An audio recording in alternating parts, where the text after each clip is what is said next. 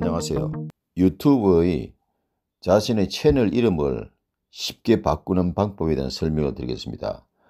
유튜브의 채널을 처음에 작성한 것이 마음에 안 들어서 다른 것으로 바꾸고 싶은 경우가 많이 발생합니다.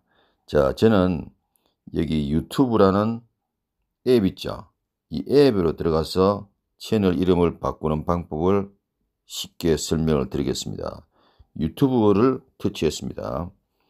자, 여기에서 보관함을 터치해서 제가 현, 이제 올린 이 동영상을 지금 현재 보고 있습니다. 보고 있는데 여기에 보시면은 요 석송랜드 이렇게 써놨죠. 이것이 채널 이름이잖아요. 이 채널 이름을 내 마음에 안 들어요. 그래서 이걸 다시 바꾸고 싶어요. 그럴 때는 어떻게 하느냐 하면은 그 방법을 제가 설명드리겠습니다. 유튜브 채널 이름은 자기 자신이 어떠한 동영상을 올릴 것인가를 결정하는 예, 보여주는 예, 것이기도 합니다. 그래서 음악을 주로 한다든가 음식을 한다든 음식 요리를 한다든가 혹은 감동글이라든가 다양하게 그것을 표현을 할 수 있겠죠. 그러나 저처럼 이렇게 석송랜드를 해서 여러 가지로 표현하는 그런 방법도 있습니다. 자 일단 여기서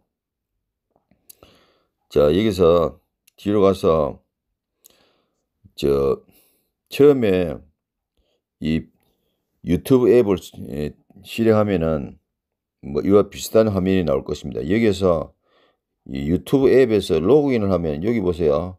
제일 위에 오른쪽 상단에 프로필 자기의 채널의 프로필 사진이 있죠. 요 프로필 사진을 터치를 합니다. 요걸 툭 터치하면요. 여기에 여러 가지 항목이 나와 있습니다. 이게.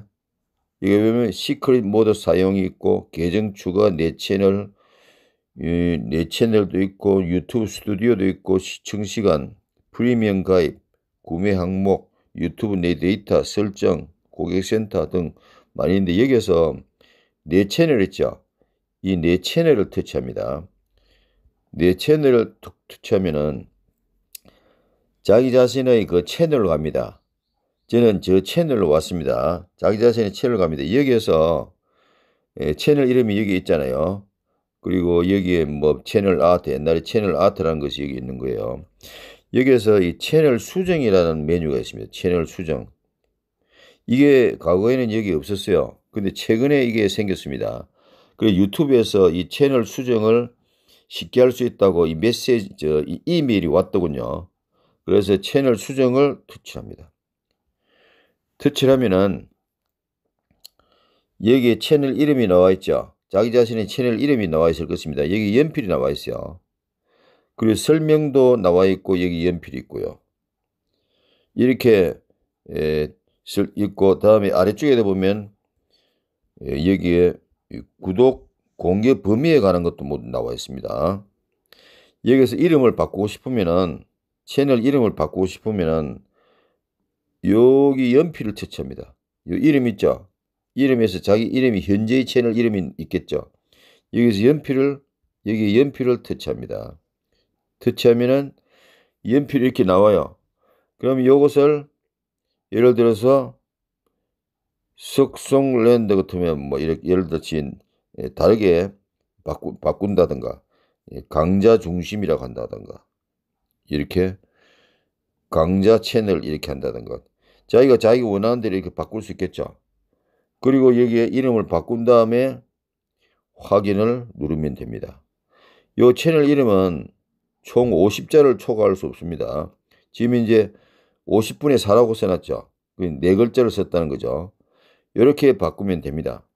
그리고 여기에 보시면은 여기 설명에 여기 유튜브의 여기 설명 읽어보겠게요. 유튜브의 모든 사용자에게 표시된다. 유튜브를 사는 모든 사, 사용자에게 이 강자 채널이라는 이름이 앞으로는 표시가 된다는 거예요. 바꾼 이름이 표시된다는 거예요. 이름을 이렇게 채널 이름을 변경하면 유튜브에만 이 채널 이름이 바뀐다. 이런 설명이었습니다. 그래서 여기서 확인을 터치하면은 채널 이름이 바뀝니다. 그래서 저는 예, 이렇게 여러분들은 자기 채널 이름을 바꿀 수가 있습니다.